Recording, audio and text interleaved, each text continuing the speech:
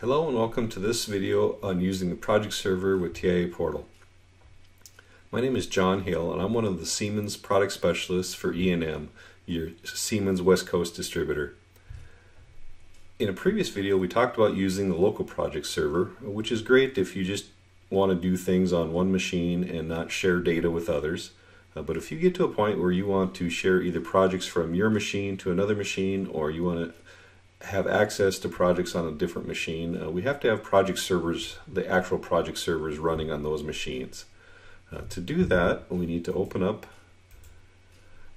our configuration panel, uh, which is what we see here. Now we can see here that is not installed or started at this time. Uh, we go ahead, these are the defaults, and we're going to just accept the defaults as far as all of these. Uh, I want to highlight down here the number of saved revisions. Uh, if you have very critical data needs, uh, in version 16 that goes all the way to unlimited now, so you can save every single iteration uh, that you work on. Uh, of course, we're going to want to do something like that with a very large hard drive installed.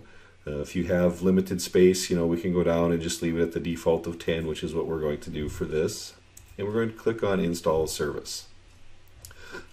I have installed and uninstalled this service a couple of times, uh, so it does give me an error uh, when I set start this up, but it's just a minor warning uh, that we're not going to go into right now. Uh, so here it's installed. Uh, we can tell that because it gives us the uninstall option, as we see installed right there. Uh, but the server is not started, so we're going ahead and start the service, and we see that that was successful. the other thing we want to do before we leave this panel is right here we see the actual name of the client info for this. We're going to do a control C to copy that. Uh, we can minimize this now and I'm going to go ahead and open up my administration panel uh, just to show adding uh, this in here as well. Uh, so that name that we just copied we will copy in here. Uh, this is the port that we had in the same protocol that we were using before. Uh, so we'll just go ahead and click add and now we see that show up. Now you see the red X by the local this is for the actual local project server, which I do not have running at this time, which is why we get the red X for that. Uh, but the other server is running, so we see that looks fine here. Uh, now we come in here, and we need to add it here as well so that we can access it. Uh, this actually gives us an alias, so I'm going to call this my VM project server because I'm running in this current VM uh, you saw me click the HTTPS. We come down here, that name that we copied, we can paste in here as well. Make sure that our port matches.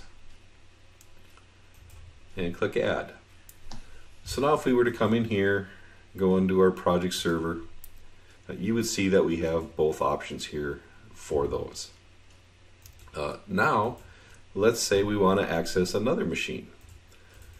So I can simply come in here and I have a, a project server running on a PG across the room, which is actually, again, HTTPS. Uh, in this instance, I'm going to actually use the IP address of that machine, which I happen to know, and the port that I have running on that machine as well. Uh, now I can actually come into my project server and I see that one here as well. So I can click on that and you can see here that I have access to those on the other one. If I actually click on this or try and start a new local session, it's going to ask me to do a login on that machine. Uh, so there are ways to add logins. They're usually associated with your current Windows domain uh, usernames the other thing that you can do if it's something that you have access to both machines, uh, I can just log in as I'm on the current session on that other machine with its name and login information. Uh, we'll kind of show that if we go into here. We can add that server here if we want as well. Uh, so from that one, uh, we're going to again use the IP information that we had. Uh, you saw that that had used a slightly different port due to some settings on that machine. And you see here that I actually get that. And I can come in here and I can look at the history of that as well.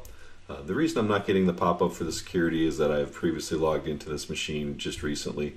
Uh, so be aware when you go to do that the first time, you will get some login information that you need to fill in.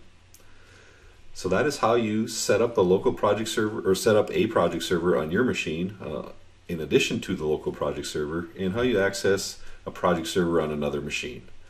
I hope this has been helpful and please look at our site for other informational videos and I will do one more video on the project server uh, with a little bit of explanation on the new feature of exclusive engineering. Uh, thank you for your time and have a good day.